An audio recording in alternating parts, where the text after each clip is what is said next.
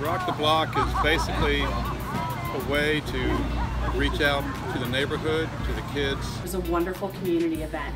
And being a teacher in Prince William County, um, I just saw what a wonderful way it was to have um, staff, students, and uh, members of our church community come together and provide uh, needs for these students, uh, be it clothes, uh, backpacks. Different items so that kids can be prepared to go to school.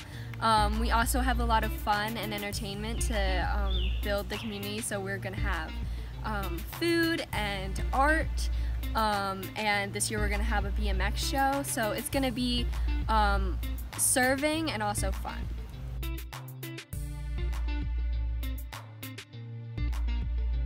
I've found over the years that when I get involved in any of the church activities, it brings me closer to God and I really feel good about being helpful to other people. There's just something to do for all ages of people, kids, uh, teens, um, and it's just it's a it's a great way to give back to the community and to kind of root yourself um, where we where we go and where we you know attend church every Sunday. I think it's a good way um, to get to know other members of the congregation when you work together uh, on a project, helping other people. Uh, you fellowship with other people in the community or in the fellowship in the congregation that you may not normally do during church. So I think it's just a good way um, to help out other people and to help out um, just to getting to know other people uh, in, in the congregation.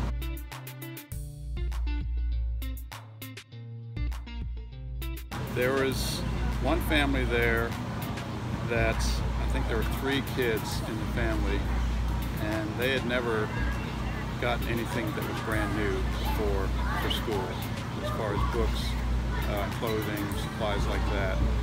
And the look on these kids' face was just amazing. Just watching the faces of the kids as they were going through the backpacks trying to figure out which one they want, their facial expressions were just golden.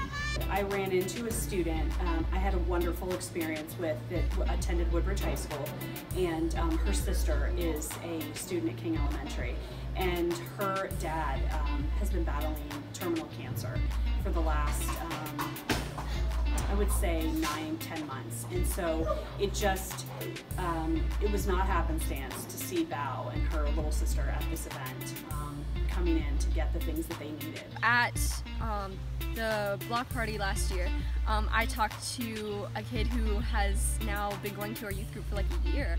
Um, so there's definitely, you know, outreach that has continued on. And you know people have joined our church because of it so a lot of good happening. Rock the block august 8th rock the block august 8th rock the block august 8th rock the block.